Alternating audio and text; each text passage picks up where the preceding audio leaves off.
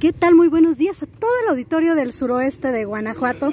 Les saluda su amiga Maribel Camarillo, transmitiendo desde la comunidad La Troja, aquí en el municipio de Pénjamo. Déjenme comentarles que en estos momentos autoridades estatales y municipales estarán llevando a cabo la inauguración de este bello camino. Déjenme se los muestro. Miren nada más qué preciosa quedó la carretera. Ahí sí es, es como las autoridades competentes, bueno, hacen este tipo de obras en beneficio de todos los ciudadanos penjamenses, pero acompáñenme por favor, acompáñenme acá donde está el acto protocolario. Las soluciones que tenemos que dar son cuando trabajamos juntos. Ciudadanos, gobierno municipal, y gobierno del Estado. Vamos a ver qué podemos hacer al gobierno federal, pero triste y desafortunadamente no nos han podido ayudar mucho. Saludo también a mi amigo el senador Erandi Bermúdez. Muchas, buenos días, buenas tardes, Erandi.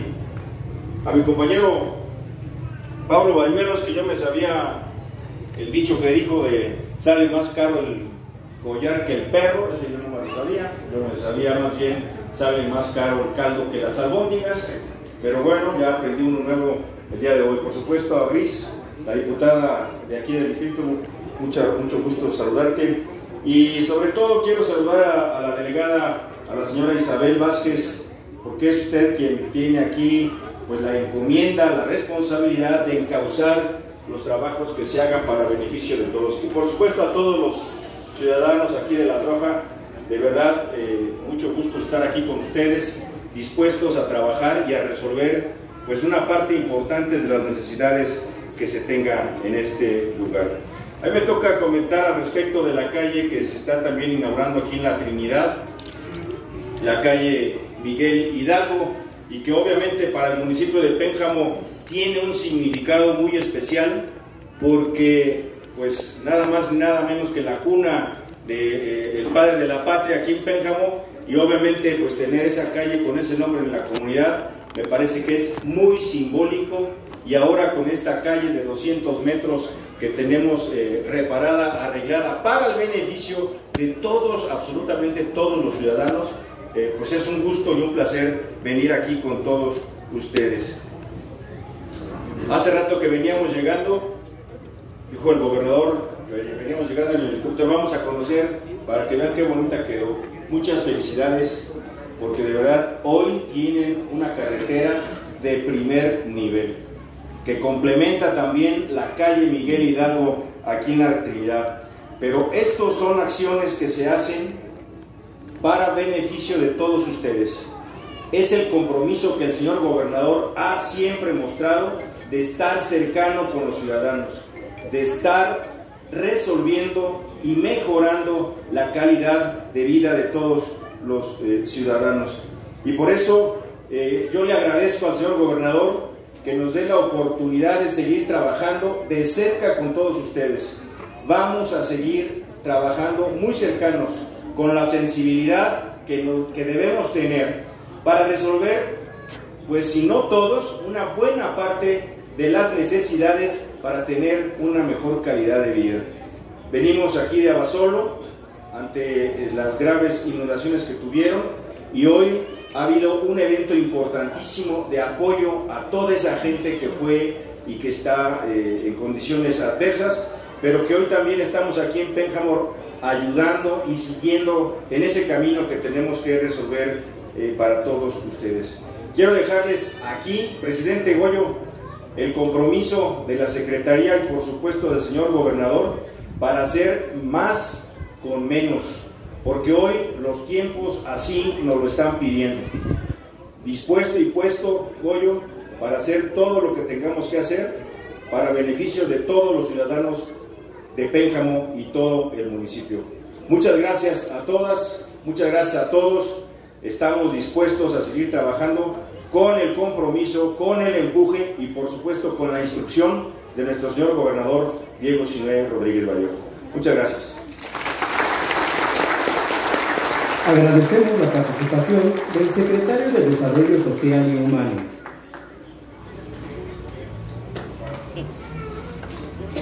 ¿Quién cine?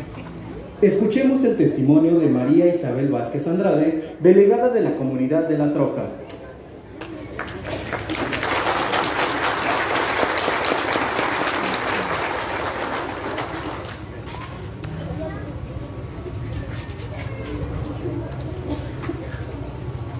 Muy buenas tardes a todas las personas que en este día nos acompañan.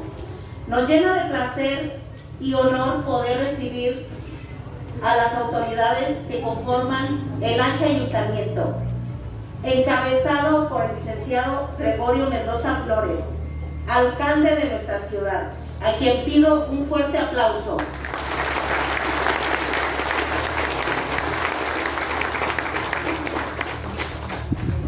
En esta ocasión por primera vez, la comunidad La Troca nos vestimos de materes largos y nos engalardonamos por contar con la presencia del licenciado, nuestro gobernador, Diego Sinué Rodríguez Vallejo, a quien le damos una cordial bienvenida en esta comunidad.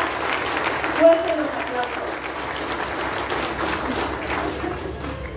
Nos sentimos muy contentos porque de las más de 700 comunidades fuimos, la nuestra fue una de las que contó con el apoyo para el avance en su urbanización y mejora, ya que no contábamos con el acceso digno para nuestros trabajos, para salir a nuestras escuelas, para diferentes actividades se nos dificultaba, ya que estaba en pésimas condiciones. Era una carretera olvidada. olvidada. Y también para comunicarnos, para este, la salud, para asistir a la asistencia médica. Y hoy por hoy nos sentimos tan agradecidos con la administración pasada que esperamos seguirnos sintiendo así, que sigan los proyectos, que sigan los avances y que siga la transformación ahora con nuestro nuevo presidente y en conjunto con nuestro nuevo gobernador en beneficio de todas nuestras familias y por un futuro mejor. Gracias. Agradecemos las palabras de la delegada de la comunidad de La Troja. Es momento de atender el mensaje de Diego Simer Rodríguez Vallejo, gobernador constitucional del estado de Guanajuato.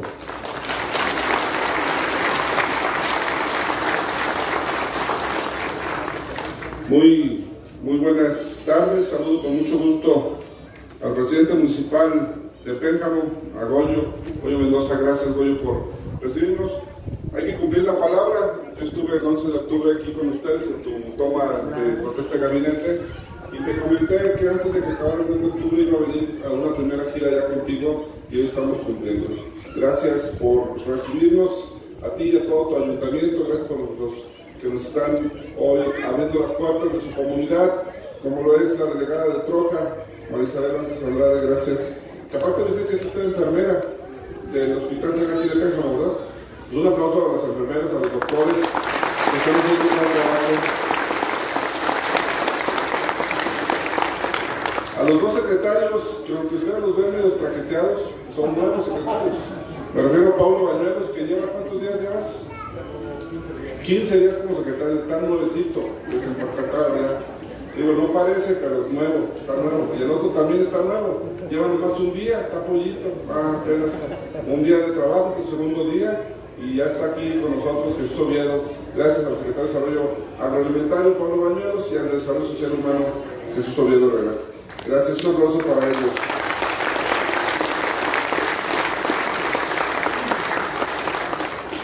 Al senador de la República, José Randy Bermúdez Méndez, gracias senador, por estamos en tu tierra, por recibirnos en tu tierra. Muchísimas gracias a Briseida Magdalena González, diputada local, muchas gracias. Eh, a los empresarios que nos acompañan, don Leonardo, muchas gracias por acompañarnos. Señor Luis Manuel Saldaña, también gracias. A todos ustedes, a los habitantes de estas comunidades, gracias. Miren, me da mucho gusto saludar nuevamente a la gente de Pénjamo, gente buena, gente trabajadora. Quiero decirles que aquí las autoridades municipales y el gobierno del estado estamos haciendo un gran equipo. para darles mejores resultados a las familias de Pénjamo. Una prueba de ello es que tenemos obras muy importantes para ustedes. Hoy me da mucho gusto que me acompañen en esta visita los dos funcionarios que se acaban de incorporar al gabinete, como ya les decía, Paulo y Jesús Oviedo, que Paulo es su segunda ocasión que está haciendo este cargo.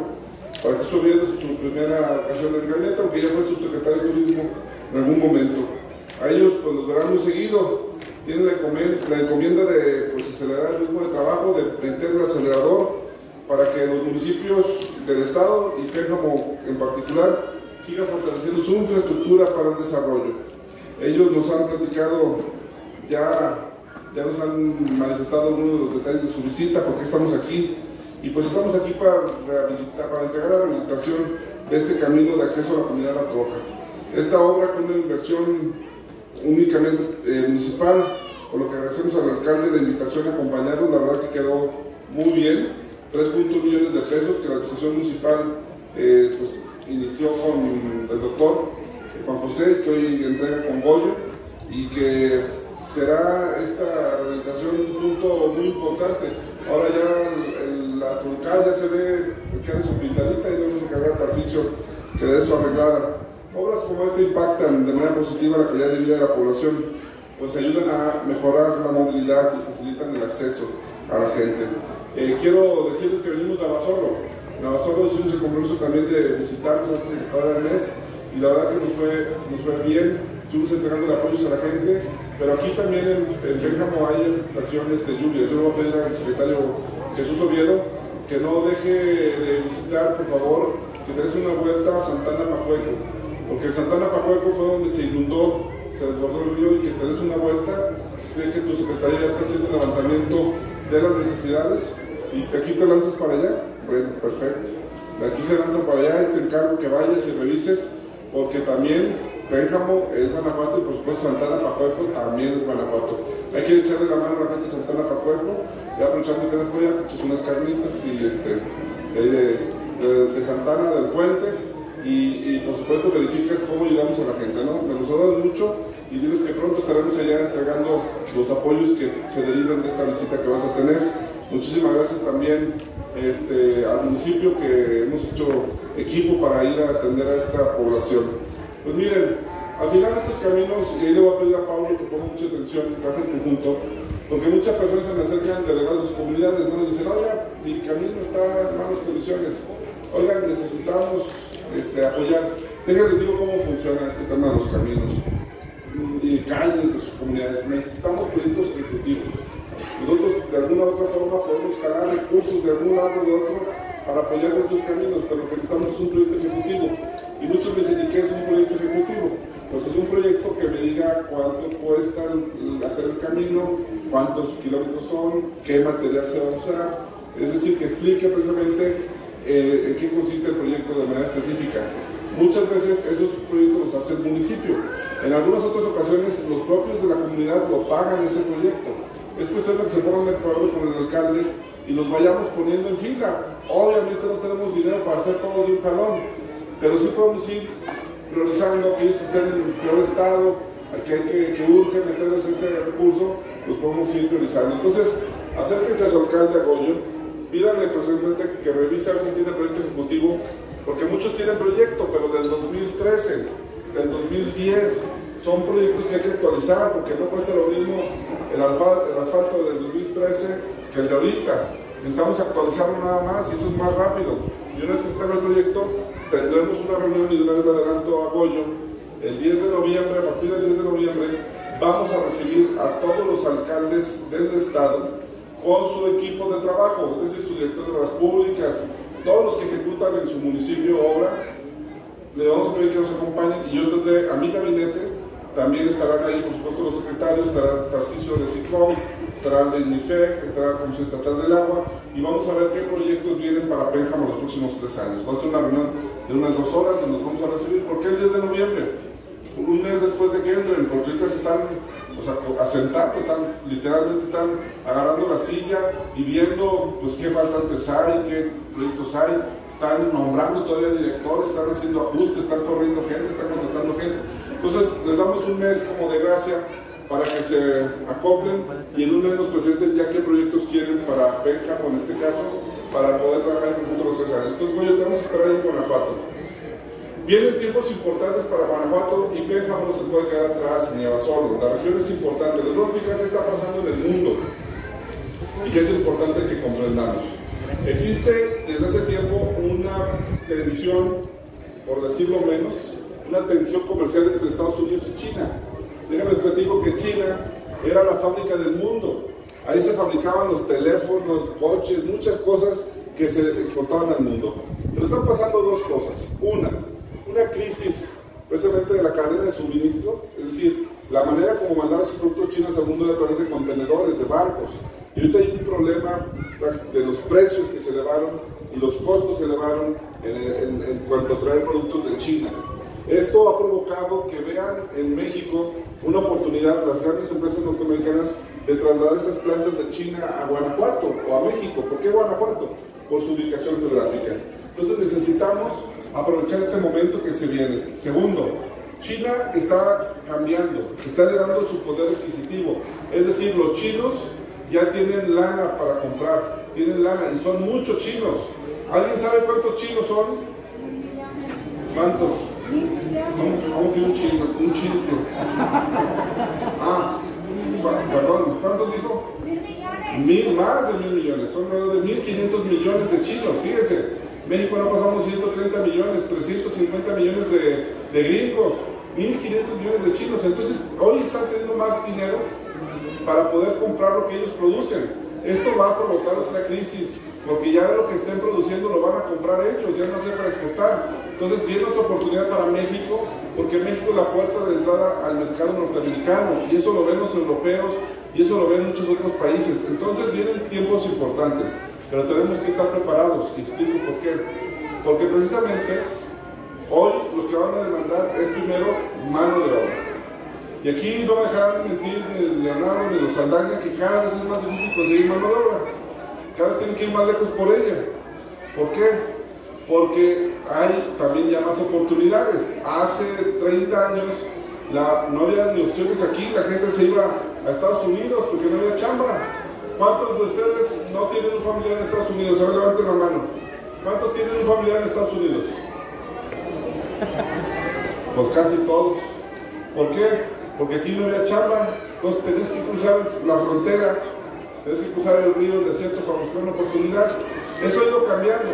Hoy llegan empresas de automotriz al Estado, se ponen invernaderos, hay industria. Lo platicamos con el dolor, no, había tequila hace 30 años, yo creo, empezaban las primeras matitas hoy, el 15% del producto del agave se saca de Guanajuato, ya presumían que después de Gatas, Pénjamo y Romita son los municipios que más agave producen. Y ahorita me tocó entregar rastrojo, forraje, que viene del agave, precisamente, de la fibra del agave, lo cual es una muy buena noticia, porque ya se están dando derivados. Entonces va cambiando, pero vamos a necesitar una cosa, y aquí lo voy a pedir al secretario de Desarrollo Social Humano. Lo que le he dicho es bien sencillo. Si tú, como secretario de Desarrollo Social Humano, quieres sacar a la gente de la pobreza, conéctalos con quien está ofreciendo empleo formal. Esa es la mejor manera de sacar a alguien de la pobreza. ¿Por qué? Le vas a dar un sueldo base, un sueldo digno, va a recibir prestaciones y eso lo va a sacar de la pobreza. Entonces el secretario de Desarrollo Humano tiene que convertirse, en una bolsa de trabajo literal buscar a los empresarios guanajuatenses y de otros estados, de otros países que vienen a ofrecer trabajo y conectarlo con la gente que tiene necesidades.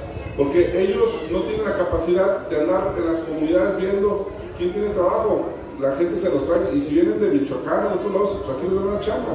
Pero si tú, Jesús Oviedo, con tu equipo, te concentras en nuestras comunidades y ver quién le falta trabajo, conectarlo con las empresas, capacitarlo con el IECA, que acaben su prepa con el eh, con el, perdón, con el INAEVA, vamos a hacer una sinergia que nos va a ayudar a, sacar a más gente de la pobreza. Entonces vienen tiempos importantes que Pénjamo y Abasolo no se puede perder. La atracción de inversiones tiene que ser otro tema. Vienen empresas importantes, por esto que les digo que está pasando en China, pero además tenemos una gran oportunidad. Tenemos jóvenes, miren cuántos niños hay aquí. A mí me encanta ver tantos niños. Aquí sí son buenos para ser niños, ¿verdad? Ya bien que sí. Salieron, qué bueno. No, qué bueno, déjenme les digo por qué. Miren, ¿Saben cuánto es la edad promedio en Alemania? En la edad promedio en Alemania es 57 años. 57 años, fíjense. Pablo va a decir, pues chavísimo, nombre, en la plena flor de la juventud, 57 años. Pero en México el promedio de edad es de 28 años, fíjense. Esa es una gran ventaja que tenemos. En Guanajuato solamente, en Guanajuato solamente, tenemos de 6.1 millones de habitantes, 2.7 millones son jóvenes. Eso es una fuerza laboral muy importante. Hoy Inglaterra, por ejemplo, está teniendo problemas para tener gasolina y alimento en los mercados porque no hay quien maneje los trailers para llevarse eso, porque no hay chavos. Porque en lugar de tener hijos, decidieron tener perrijos.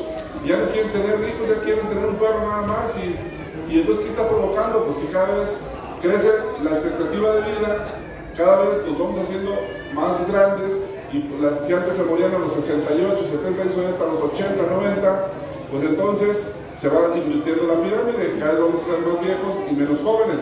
¿Y quién nos va a mantener? ¿Quién va a pagar para las pensiones? ¿Quién va a trabajar para tanto pensionado? Entonces necesitamos, por un lado, qué bueno que aquí sí les guste hacer hijos y tener hijos, más hacerlos, qué bueno que les dé por trabajar, pero esa es una gran oportunidad que tiene Guanajuato. 2.7 millones de jóvenes, un pleito que sigue China y Estados Unidos que nos va a traer derrama económica. Ahora, ¿por qué se va a venir a Guanajuato y por qué no se va a ir a otro estado?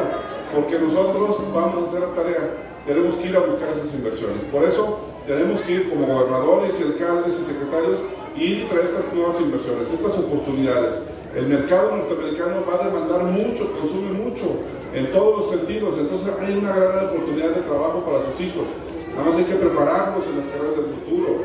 Ya no necesitamos tantos abogados. Miren, en León se, se graduaban por año 14 mil abogados por año, muchísimos. Ni casándonos y divorciándonos cada año, ¿qué queremos tanto abogado? Contadores, este, psicólogos, nutriólogos, sí se ocupan, pero no en esos, esos volúmenes. ¿Qué necesitamos ahora? Ingenieros, programadores, mecatrónicos, electrónicos, este, técnicos, que estén en las empresas. Entonces hay que concentrarse en esas carreras. Por eso las universidades, los institutos politécnicos, los tecnológicos son fundamentales para tener esas carreras del futuro. Estos jóvenes, estos niños que ven hoy ahí, en 15 años van a ser los ingenieros de mañana que van a traer estas empresas. Entonces, concentrémonos en tres cosas. Educación, seguridad y condiciones de inversión, es decir, ser pro-business. Todos, no quiere decir que nos, y esto es otro, ¿eh? creo que mucha gente se confunde. Entonces vamos a dejar de ser agrícolas para ser industrial. No, no, esa es una falsa disyuntiva. Podemos ser ambas. Se ha demostrado que existe mercado para todo. Y el gran, el gran ejemplo es Guanajuato. A Guanajuato no le fue tan mal en la crisis porque es un estado diversificado. Tenemos mucha industria automotriz, pero no pasa del 20%. De igual forma tenemos mucha industria que creció, como dijo Pablo, el 7%, y tenemos turismo que nos da mucho derrama económica y también moda como cuero calzado, además de otras eh, de, de, la economía. Entonces, amigos de Pénjamo, vamos a trabajar en equipo para que estos tres años sean de éxito, para traer empleo mejor pagado para su gente, de traer beneficio a las comunidades. Yo le pido al alcalde Goyo que nos prepare los proyectos para irlos trabajando poco a poquito, de uno por uno, pero vamos a ir dando solución a la gente para que no se desesperen. Lo que pasa es que Pénjamo, créanme, lo podría ser un estado de la República. O sea, tiene 700 comunidades rurales, 400 son ejidos y tiene un gran territorio. Más se tiene el mismo número de giros que lo que tiene el estado de Aguascalientes. Les digo que yo creo que Pénjamo es más grande que Tlaxcala, que Colima, sin duda. Entonces vamos a trabajar de la mano con la gente de Pénjamo Vamos a hacerlo paso a paso, pero no van a aceptar solos. Van a contar con el gobernador y con todo su gabinete. Pues no me resta más que decirles gracias. Gracias por toda la confianza y aquí estamos para seguir dando resultados. Que Dios los bendiga y buen inicio de semana a todos.